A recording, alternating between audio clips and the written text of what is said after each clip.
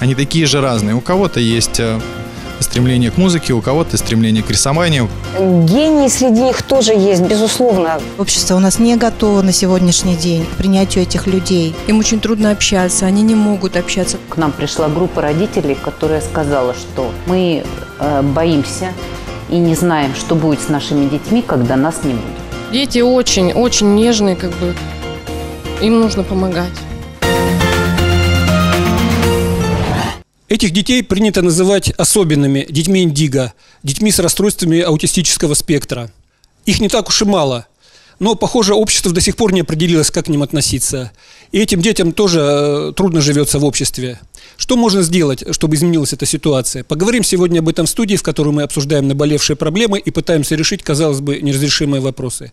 Вы смотрите программу «Студия 49», я ее ведущий Сергей Никитин. Здравствуйте. Сегодня нашими экспертами являются Ольга Незамаева, начальник департамента по социальной политике мэрии Новосибирска, и Марина Кашенова, заведующая кафедрой социальной психологии и виктимологии Новосибирского педагогического университета. Здравствуйте. Но сначала, как всегда, смотрим сюжет. Их очень часто сравнивают с инопланетянами. Они живут в собственном мире, беспомощны в самых простых вещах и резко выделяются своими мыслями и поступками от общепринятых норм. К сожалению, многие до сих пор их принимают за умственно отсталых. В то же время среди людей с расстройством аутистического спектра немало талантливых и гениальных личностей. Физик Альберт Эйнштейн, писательница Вирджиния Вульф, основатель Microsoft Билл Гейтс и многие другие. Ежегодно 2 апреля во всем мире отмечается Международный день распространения информации о проблеме аутизма. Отмечают его и в Новосибирске. Для меня тема эта очень близка, потому что Ребятишек у нас с подобным здоровьем в городе очень много. Люди с аутизмом всю жизнь с рождения до смерти нуждаются в специальном организованном медицинском, социальном, психолого-педагогическом и юридическом сопровождении. Главная сложность для них – адаптация в обществе. Их поведение в силу нарушения психического развития отличается от общепринятого, что зачастую вызывает раздражение у окружающих. Взрослые многие считают, что ребенок не воспитан, что это за поведение. Сложно донести людям, объяснить, что нужно быть добрее, и вдруг этот ребенок просто особый.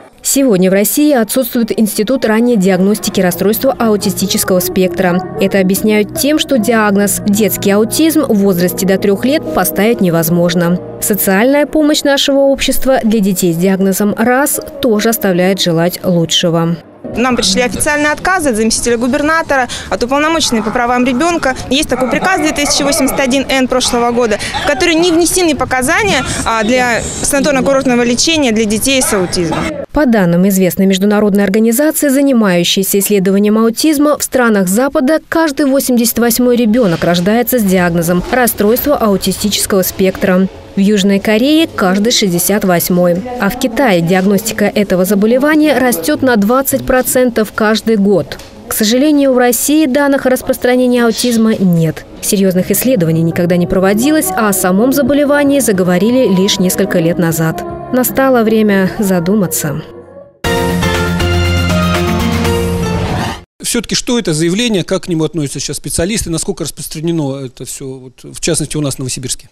Знаете, даже ответить на вопрос, насколько это распространено в Новосибирске, на 100% невозможно. Во-первых, не все дети далеко еще выявлены.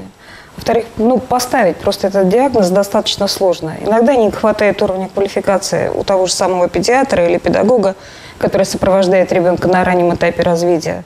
Родители, естественно, далеко не всегда догадываются, что же с их ребенком не так. Любят ребенка, видят трудности, но угадать, о чем это, на самом деле оказывается очень сложным.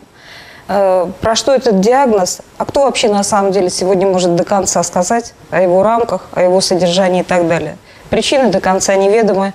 Количество детей во всем мире с аутизмом или с расстройствами аутистического спектра постоянно растет. Единственное, что мы знаем, ну, кто-то их называет дети с вселенским пессимизмом, отказывающиеся от коммуникации с миром, которому они очень не доверяют. Не знаю. Наверное, здесь тоже есть какое-то рациональное зерно. Но я совершенно точно знаю, что этим детям трудно. Хотя бы потому, что мы все с вами учимся, получая всю информацию через канал коммуникации прежде всего. У них этот канал, прежде всего, существенным образом ну, деформирован. Поэтому им сложно учиться, им сложно доносить свои мысли и чувства. Но это вовсе не означает, что у этих детей нет богатого мира, нет богатого спектра эмоций, или они не могут развиваться, все равно свои ресурсы у них есть. А скажите, вот э, действительно вопрос такой, вот чем эти дети все-таки отличаются да, от э, обычных? Можно ли говорить о том, что у них умственные способности там ослаблены или, наоборот, они могут сосредоточены на чем-то? Я поняла ваш вопрос. Прежде всего, э, дети с расстройством аутистического спектра имеют различную клиническую картину. Нельзя сказать, что они похожи друг на друга. У них может быть э, различные проблемы и могут иметь различную степень выраженности. И дети, они, я их называю дети с секретом. Если они на ранних этапах своего развития очень сильно отличаются э, э, от э, детей своего возраста, то предсказать, как они будут развиваться дальше, достигая подросткового возраста или взрослой жизни, ни один врач-психиатр этого сделать не сможет.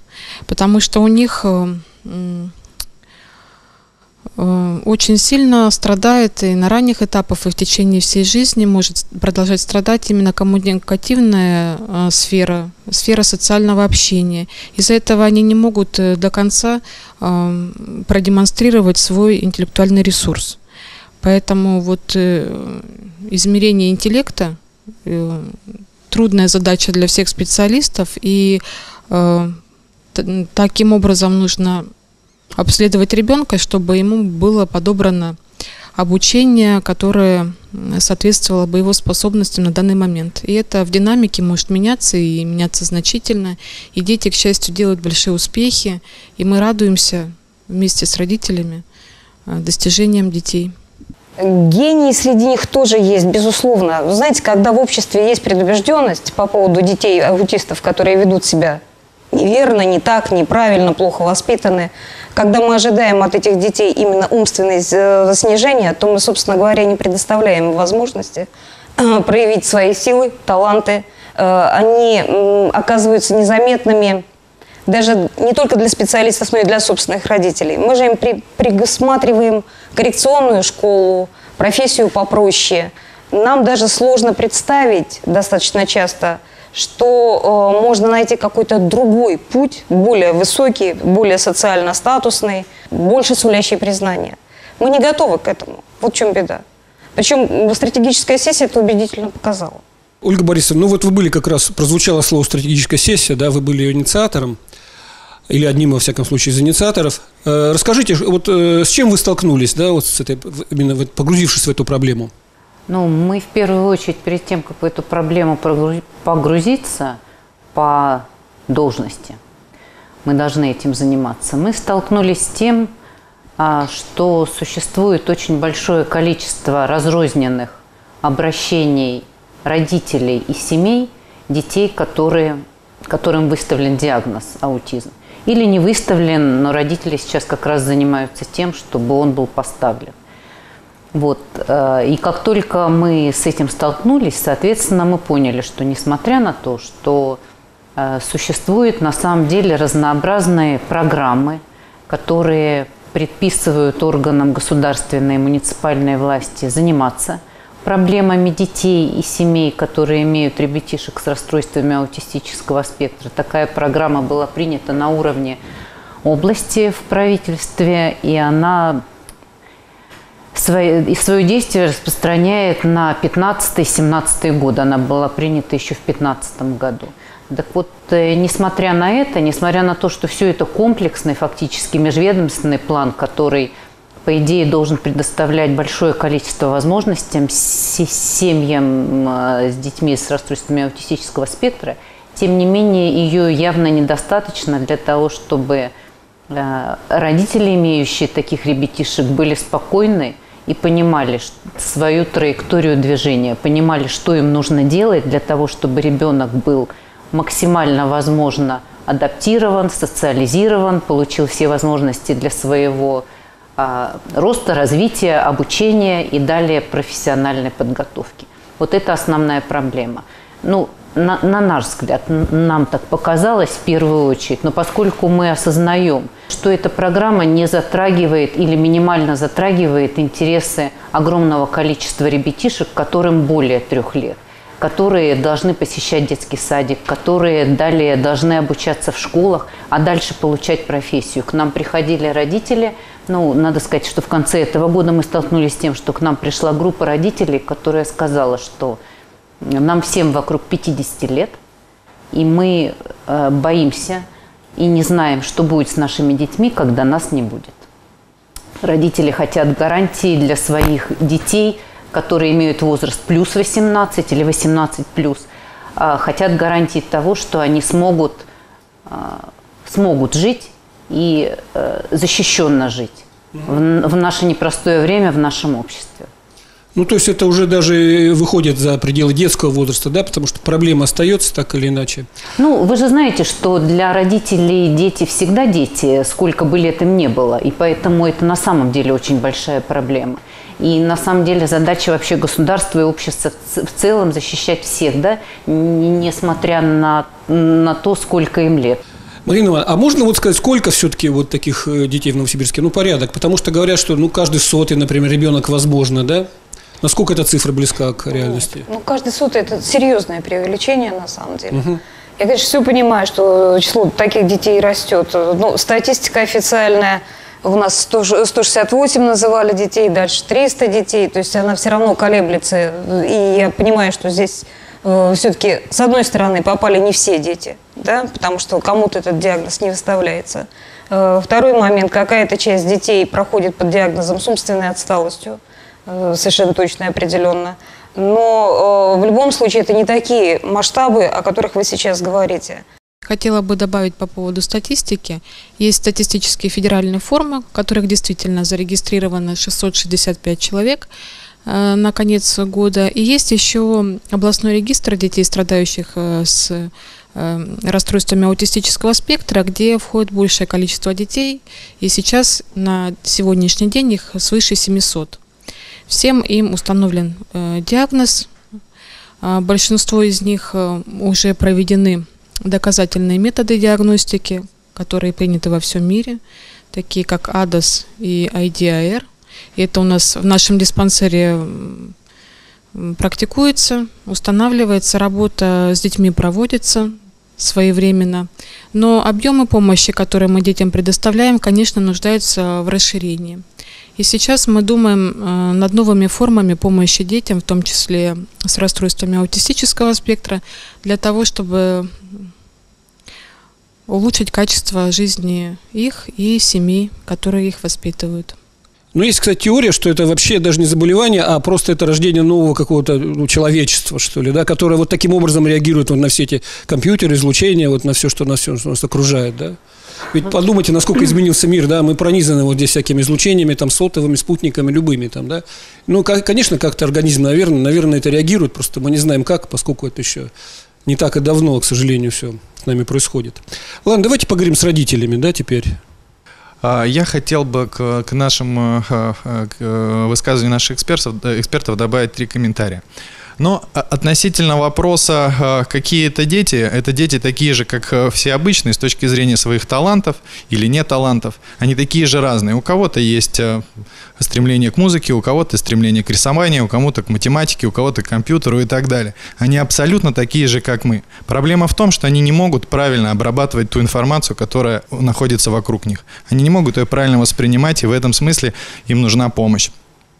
А, это первый момент. А, второй момент, с точки зрения, а, хоть у меня ребенку и 7 лет, но я достаточно много общаюсь с людьми, у которых старше 18 лет дети, и я могу уверенно сказать, что эта проблема не то, чтобы, если она никаким образом не корректировалась, не было никакого вмешательства, и ребенок не получал какую-то помощь, она не то, чтобы так или иначе остается, она себе вполне остается, и более того, она даже ухудшается, потому что ребенок до 18 лет, он а, вот в ограниченной социализации, в ограниченном обучении, в ограниченных а, каких-то вот а, в ограничении помощи, он, ну, он, наверное, деградировал, потому что все его сверстники, они развивались, от этих трех лет, а данный ребенок не развивался, и он еще больше отстал как бы от своего общества. Здесь как бы работы очень и очень много. И всем вместе, и нам, и родителям, и органам власти надо об этом задумываться.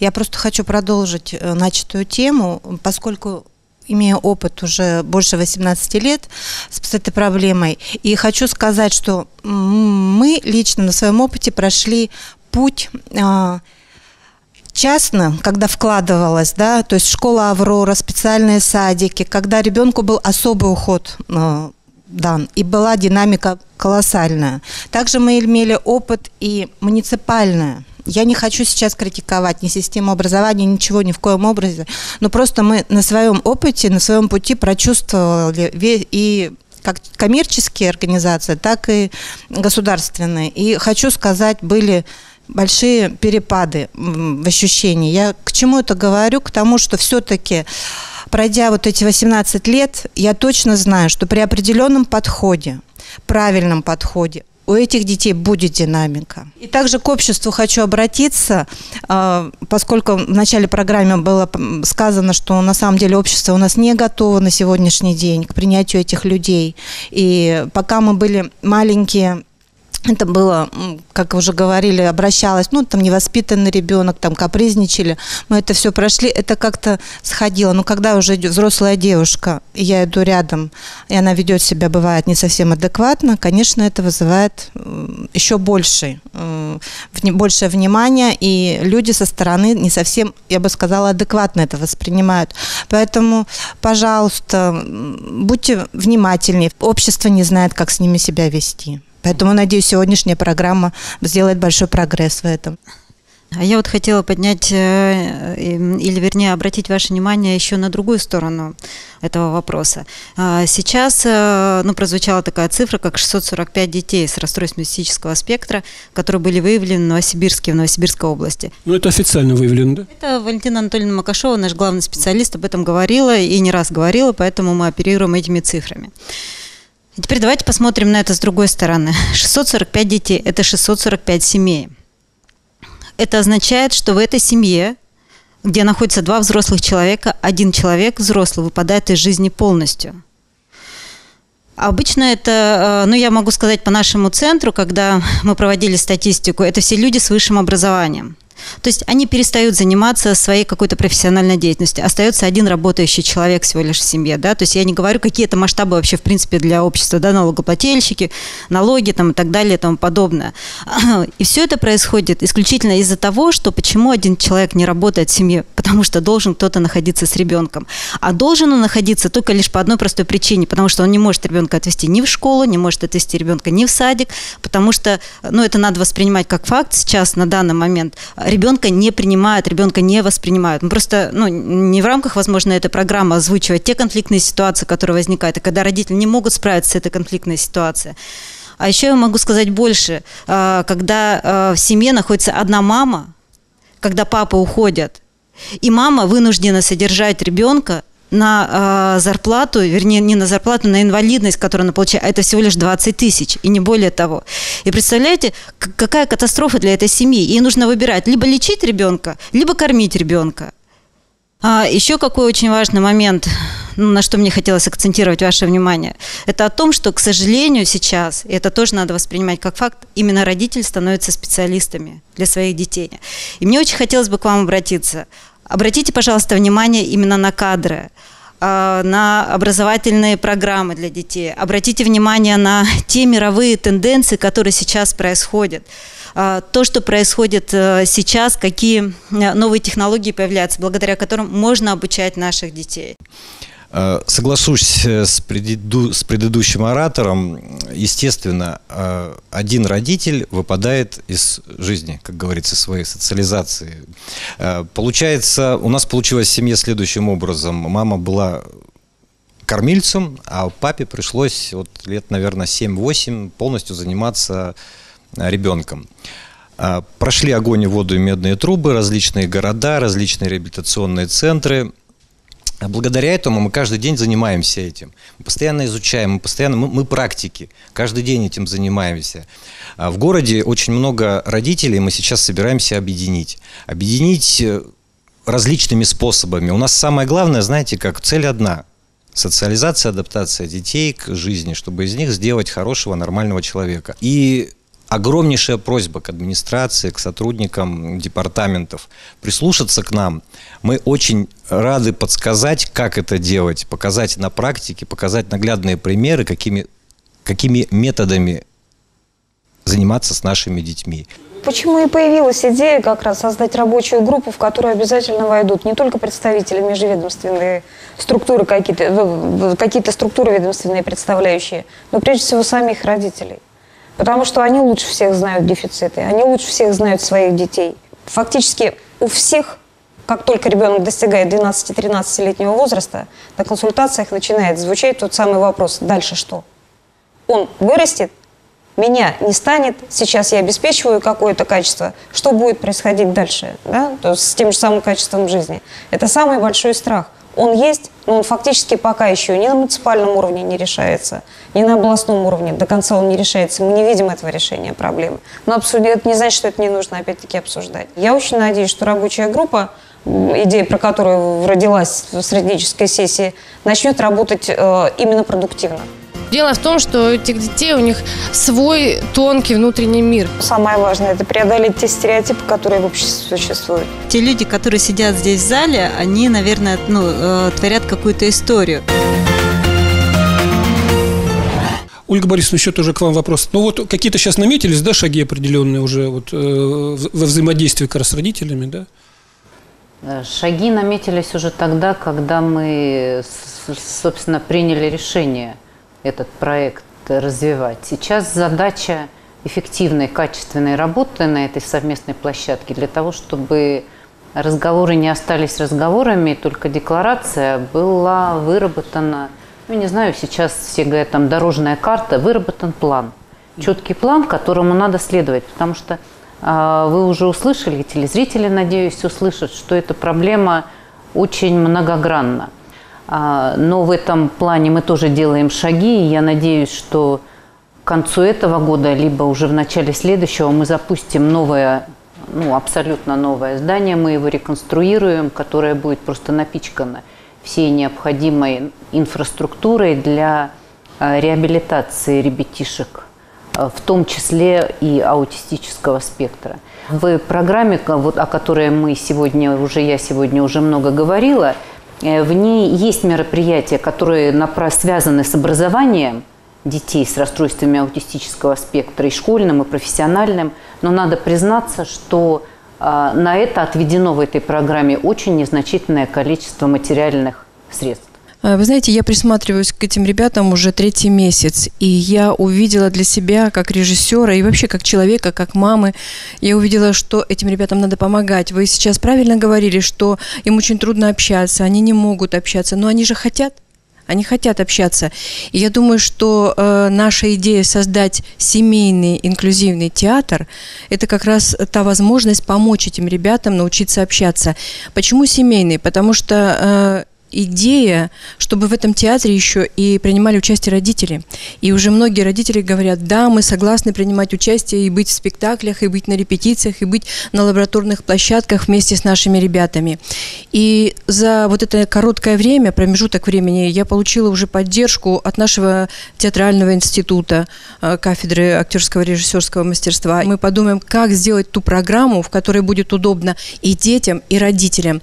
И э, наши профессиональные актеры актеры э, нашего города, они тоже согласны с нами работать и участвовать в этих спектаклях. Сейчас много говорили о том, что будет с ребятами после 18, да, когда не станет мамы, папы, что они будут делать, чему они научатся. Так вот, идея нашего театра – это мастерские, которые так необходимы этим ребятам, где ребята будут под э, руководством профессиональных педагогов что делать? Шить костюмы, делать декорацию, бутафорию. Вообще вот э, в Петербурге, который уже, ну, там уже эта проблема раньше, чем в Новосибирске поднята, и там существует такое пространство дружественное для как раз вот для таких детей, и, ну и вообще там для людей, не только для тех, где работают психологи, куда они могут просто прийти, к ним будут относиться как, ну, вот, как дома, что ли, да. И самое важное, наверное, это действительно общение, да, там, где тебя понимают. И как раз вот эти социальные контакты, они там и возникают. Хорошо, чтобы у нас, конечно, было что-то подобное. Очень хорошо творческие мастерские или мастерские, где кто-то, кто хочет или склонен заниматься шитьем или изготовлением костюмов, делал бы это. Но уже неоднократно говорилось, что это дети – но ровно такие же, как и все остальные дети. У каждого из них могут быть свои наклонности, желания, интересы, способности. Поэтому наша задача предоставить максимально больше возможностей выбора для, для этих ребятишек. Это могут быть мастерские, это может быть, ну, может быть все что угодно в соответствии с тем, что всем нам предлагает жизнь. Поэтому наша задача в этом ну, создать реальную площадку, на которой мы могли бы подобные проекты продумывать, а дальше ре, реализовывать. И если при этом в орбиту нашей деятельности будет втягиваться все больше и больше неравнодушных людей, это, собственно говоря, я думаю, и поможет. То есть если это не будет интересом а, только вот какого-то одного сообщества или группы, потому что всем остальным тогда это будет непонятно. У нас второй год в городе Новосибирске будет проходить форум «Новосибирск. Город безграничных возможностей», где одним из вопросов будет звучать как раз театральные студии для ребятишек разных нозологий, разных. Э, вот, поэтому мы покажем, где дети, э, которые очень талантливые, и с инвалидностью, с ограниченными возможностями, которые э, занимаются в театральных студиях именно города Новосибирска. Пытаемся пригласить профессионалов в театральном искусстве на эту площадку. Поэтому я приглашаю просто вот, обсудить все эти возможности и для именно вот ребятишек аутистического спектра, потому что э, вообще форм очень много. Сегодня вы слышали, что звучит наше учреждение муниципальное Олеся. У нас есть центр «Заря», где отдыхают мамы с детьми, и мы стараемся реабилитировать их э, по направлению правильного отдыха, общения. Вот у нас в скором будущем, совсем-совсем скоро откроется площадка загородня, э, оздоровительная Тера, где мы будем делать корпус именно для ребятишек. И можно э, в загородной зоне организовать вот э, подобные мастер-классы, отдых и э, привлечение специалистов. Поэтому я приглашаю всех на форум, пользуясь вот этим, где можно еще предложить иные идеи и благодарна искренне родителям, что они вышли вот на такой широкий э, спектр, и мы спланировали на самом деле деятельность департамента с разными вот на сегодня структурными подразделениями. Я думаю, что обязательно результат будет. Сколько бы у нас не было учреждений, мы на самом деле, наверное, не сможем удовлетворить все запросы ну, пока. понятно, да? Ну, пока. Пока. А может быть, очень долго может длиться пока. Э, специализированных учреждений. Но есть те же самые учреждения культуры, да, да, учреждения при э, молодежной политике, которые на самом деле готовы пойти навстречу, и стратегическая сессия это показала. Но не главный вопрос звучал. Я хочу помочь, у меня специалистов нет. Да? То есть мы готовы предоставить территорию, мы готовы пойти навстречу, помогите обучить э, специалистов. И так, э, чтобы это было толково, в дело, э, с толком. Э, то есть на самом деле люди готовы приходить на помощь. Это первое. Второе. Э, они будут тем больше приходить на помощь, чем чаще будут случаться передачи подобные этой или э, события, которые обращают внимание на проблему. Я бы очень хотела сказать, что самое главное – это узнать этих детей поближе. Дело в том, что этих детей у них них свой тонкий внутренний мир. И когда с ними, когда их узнаешь поближе, тогда как бы эту всю картину видишь. Они все чувствуют, у них есть привязанности, только самая как, большая проблема, что они не могут этого выразить. И они очень из-за этого страдают. Поэтому я бы хотела обратиться э, к людям, чтобы обратили на них внимание и были бы добрее немножко. Потому что дети очень, очень нежные, как бы им нужно помогать. Спасибо. Я работаю в отделе, он назывался раньше отдел здоровья и развития детей, теперь называется отдел а, профилактической работы с образовательными организациями, семьями и детьми.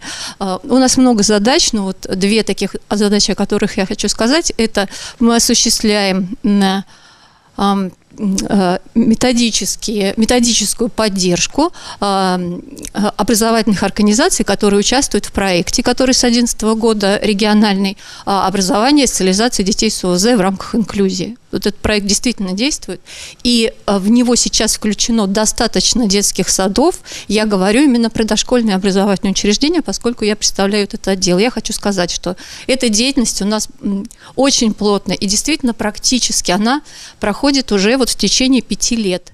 И я совершенно точно могу сказать, что я как специалист вижу результаты, я вижу а, мотивацию а, специалистов дошкольных образовательных учреждений. Вот за эти пять лет я могу сказать, что у нас действительно есть надежды на то, что по большому счету и менталитет в обществе изменится. Сейчас создана рабочая группа, которая будет э, буквально на следующей неделе, на следующей, по-моему, да? 8 числа мы уже э, проведем первое заседание. И как раз то, про что говорил Роман, про то, что говорили остальные родители. Вот эти болевые точки должны стать темами заседания этой рабочей группы. А мы планируем приглашать представителей образования, руководителей департаментов. Мы планируем э, приглашать, очень надеемся, что врачи откликнутся тоже, потому что очень много вопросов к этим. И как раз к форуму, к осени. Э, мы должны сформировать некий пакет э, вот этого видения. А мы очень надеемся, что форум станет запускаемым запускающей такой площадкой для того, чтобы дальше началась уже практичная работа, э, практическая работа э, по обучению специалистов. Это чрезвычайно важно. И что еще я хотела сказать, что на самом деле совершенно удивительные люди, э, это родительское сообщество этих детей. А, мало того, что э, потрясающая гражданская активность, то есть фонды созданы, ну, очень многие из них уже работают, активно работают с собственными фондами. А, огромная продвинутость э, в знаниях, э, то есть эти люди совершенно спокойно общаются с иностранными специалистами. Я так понимаю, что все уже знают английский язык, читают литературу, которая часто недоступна бывает в России, знают лучшие тенденции. И вот сейчас поддержка департамента, на самом деле, а, одна из представительниц вот этого родительского сообщества находится на Петербургском экономическом форуме где представляет вот эту совместную инициативу департамента и родителей по созданию э, серьезного э, реабилитационного центра для детей с расстройствами аутистического спектра. Это огромный проект, это очень серьезный проект, который ну, мы все очень надеемся, что удастся сдвинуть, но мне кажется, что родители вот с таким зарядом и с, с такими знаниями, с такой э, силой, энергией вот любви своим детям, я думаю, что это им посильно. Вы знаете, а, нет, на самом деле я вот так а, анализирую то, что происходит в последнее время. Ну, получается, ну, лет пять, наверное. А, возможно, мы еще не осознаем то, что происходит, но это некие какие-то исторические факты. Вот. По большому счету, вот те люди, которые сидят здесь в зале, они, наверное, ну, э, творят какую-то историю. И э, я буду искренне рада тому, что то, что мы сделаем да, сейчас, у истоков того, чего мы стоим, что пройдет 10, 15 лет, 20 лет, и тогда уже не будет возникать вот этих проблем. А что сделать с детьми? А куда их вести учиться? А примет ли их детский садик или не примет ли детский садик? Что-нибудь совершенно спокойно приходить куда угодно, они будут абсолютно полноценными членами общества. Я искренне на это надеюсь, мне кажется, это должно получиться. Ну, это вот та мысль, которая у меня возникла, когда вот я так посмотрела на все со стороны. Ольга Борисовна, у меня к вам такой короткий вопрос. Так получилось, что по совместительству я еще директор э, некоммерческой организации «Атмосфера помощи людям с расстройством аутистического спектра». А, мы испытываем сложности в общении с властями. И в, в частности сложности в том, которую вы, в общем-то, вы обозначили, что есть у нас э, э, департамент социальной политики, есть образование, есть медицина, и нам вот как бы очень сложно э, собрать всех в, в кучу для обсуждения как бы таких вопросов, в рамках которых они не могут самостоятельно каждый ответить. Вот э, и кто бы на себя мог взять эту функцию, потому что мы как бы такую серьезную проблему с этим испытываем. Э, я уже говорила, я считаю, что это одна из основных наших задач, как вы выразились, собрать всех в кучу. Потому что без этого невозможно. Мы считаем, что это удастся быстро сделать, достаточно быстро сделать, потому что э, сегодня говорили уже о площадке форума «Новосибирск. Город безграничных возможностей», который как раз призван э, консолидировать внутренние ресурсы разных структурных подразделений, имеющих свои задачи, для решения одной задачи. И э, если эта задача будет поставлена, а она будет поставлена на форуме, соответственно, перед каждым э, подразделением ну, будет стоять задача, которую он будет решать с своими доступными ему средствами. Мы готовы также организовывать вот эти межведомственные площадки для обсуждения, на которых будем собирать представителей разных структурных подразделений, ставить перед ним перед ними задачи, которые каждый из них будет решать со своей стороны. Э, спасибо, что вы об этом сказали, и мы осознаем, что это совершенно точно необходимо. Самое главное, мы очень рады тому обстоятельству, что мы видим заинтересованность и готовность работать в этом направлении представителей образования, как уже говорили, культуры, спорта, молодежной политики.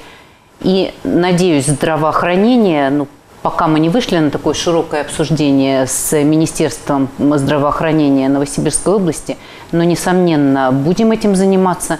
В нашей структуре есть отдел по охране здоровья, задача которого а, абсолютно точно, а, в задачи которого вписывается вот это направление – ну, вообще я себя здесь чувствую уже очень одиноко, потому что на самом деле хочется быть вместе с мы. Э, если закончить, для меня, наверное, все равно самое важное – это преодолеть те стереотипы, которые в обществе существуют. Это очень непросто.